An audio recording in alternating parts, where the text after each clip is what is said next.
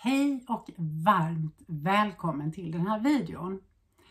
I den här videon tänkte jag prata om negativa energier.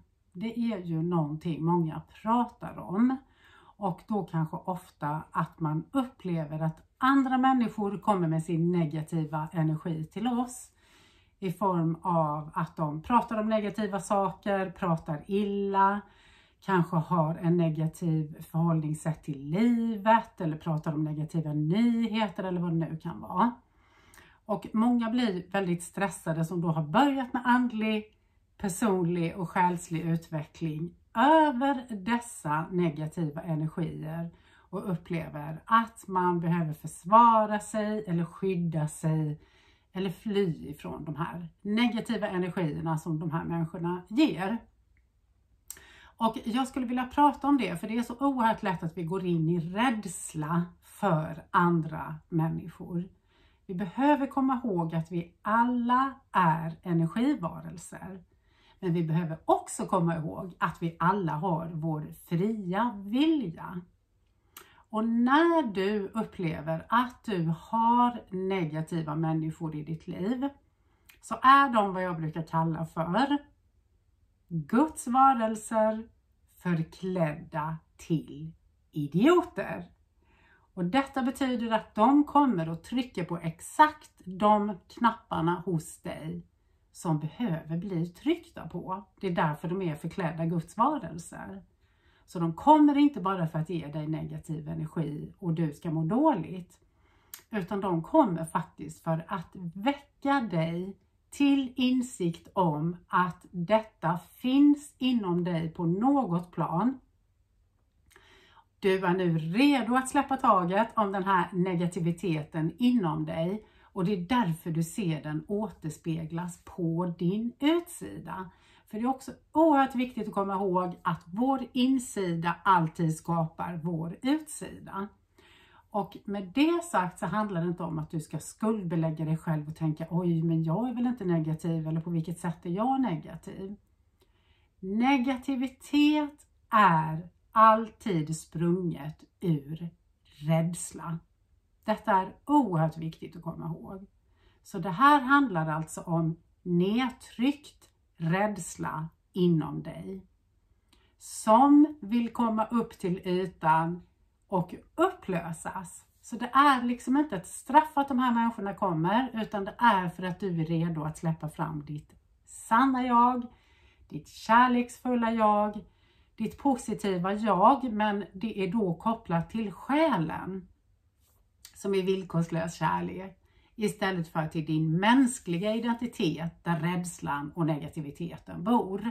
Så om det är så att det just nu är mycket negativitet omkring dig så är det ett tecken på att du håller på att utvecklas själsligt. Vaknar upp från din litenhet, alltså den mänskliga begränsade rollen du har spelat fram tills nu och istället börja erfara ditt själsliga sanna jag som består av ren villkorslös kärlek. Och det här är inte att förväxla med att tvinga sig till att tänka positiva tankar eller göra en så kallad spiritual bypass där vi låtsas vara mer andliga och själsliga när vi innerst inne är arga eller ledsna eller rädda.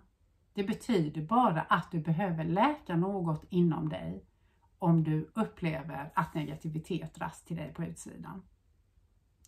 Och sen det här med det fria valet som jag pratade om inledningsvis. Det är att likna vid, ja du är en energivarelse. Därför behöver du också ha fokus på vilken form av bensin du fyller dig med. Det är ju att likna vid att du har en bil, kör in till en mack och ska tanka. Och så har du en bensindriven bil och så tankar du diesel. Och så upptäcker du att du tankar din bil med diesel, men du fortsätter att tanka den med det ändå. Trots att du vet att det inte är bra för din bil och att den troligtvis kommer gå sönder om du fortsätter med det. Så länge du fokuserar på de här negativa människorna, alltså på utsidan av dig själv istället för att läka, att du blir upprörd över dem och tycker att de är jobbiga och varför sa den det och fy vad negativa de är då bokstavligt talat tankar du din bil, ditt psyke, din mänskliga erfarenhet med fel bensin. Så för dig är det viktigt att göra valet, koppla ur slangen och koppla upp dig på det som är bäst för dig. Och vad är bäst för dig? Jo, det som får dig att må bra förstås. Om du fokuserar på det som får dig att må dåligt så får du ju mer av det, då tankar du det. Medan när du börjar fokusera på rätt bensin så stärker du ditt eget energifält. Och hur fokuserar vi på vår rätta bensin? Jo, genom att vända oss inåt, meditera, vila, sova, vistas i naturen, göra det som vi mår bra av. Om det är att lyssna till musik eller dansa på vardagsrumsgolvet eller följa våra drömmar eller umgås med människor som pratar om själslig utveckling eller läka våra inre sår. Då stärker vi vårt inre energifält och fyller på den med mer energi, alltså rätt bensin. Så det gäller att stanna upp när du upplever det här. Nu är det massa negativa människor här. Nu är det massa negativa nyheter. Har du låtit dig dras in till macken och står nu och tankar det som inte är bra för dig? Kan du välja att ta ett steg tillbaka, koppla loss från den energin och välja det som får dig att må bra? Ja, det kan du. Men valet är alltid ditt. Och kom ihåg, när någonting bubblar upp mycket så betyder det att det är redo att släppa taget om dig. Det är inte en förbannelse. Det betyder att det är något större som vill sprängas ut ur jorden. Ditt magiska, härliga, gudomliga jag. Så läk dina inre sår om det är det du behöver göra. Vänd dig inåt, meditera, krama ett träd, kontakta sanningen om vem du är. Byt bensin. Stort tack för att du tittade. Hejdå!